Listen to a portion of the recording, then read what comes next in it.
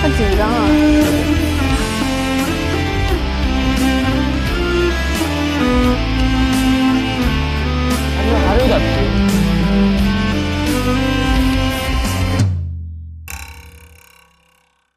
你学几年了？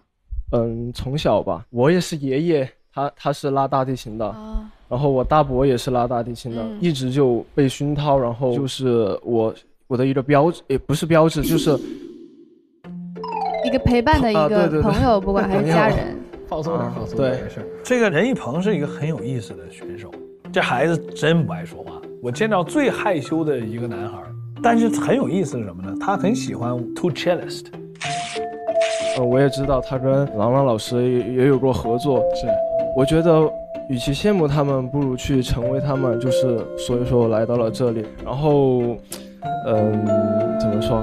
呃，我，嗯，怎么说？two cellist，这两个哥们儿可是能耍的，耍的那简直就是几乎已经成杂技表演了，两个活宝。